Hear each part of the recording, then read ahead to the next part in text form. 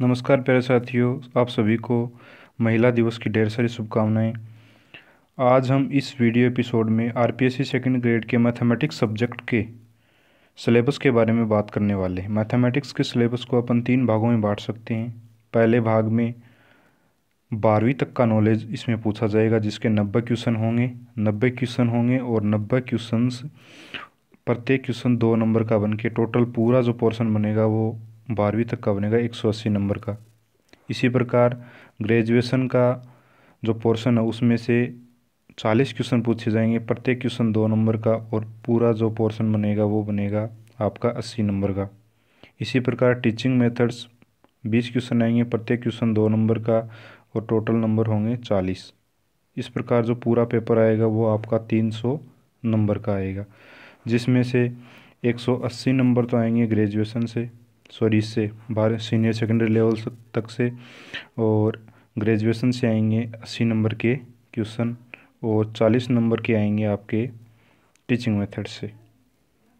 अब देखते हैं इस सिलेबस के बारे में आगे डिटेल में।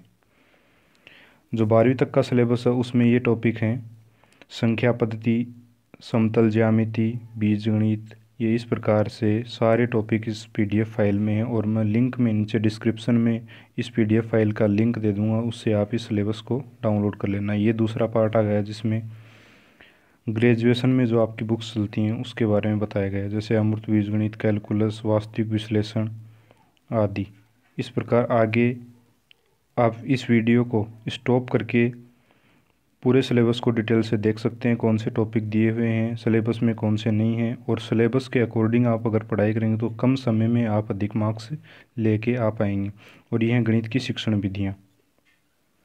जो चौथा पार्ट है, जिससे बीस क्वेश्चन आएँगे, यानी चालीस नंबर का, इसमें गणित का अर्थ एवं प्रकृति गणित शिक्षण के लक्ष्य, उद्देश्य इत्यादि टॉपिक दिए हुए हैं।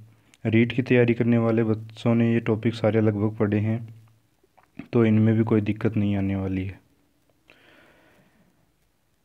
सिलेबस से संबंधित इसी प्रकार के अन्य वीडियो देखने के लिए लाइक व सब्सक्राइब ज़रूर करें इस चैनल को। धन्यवाद।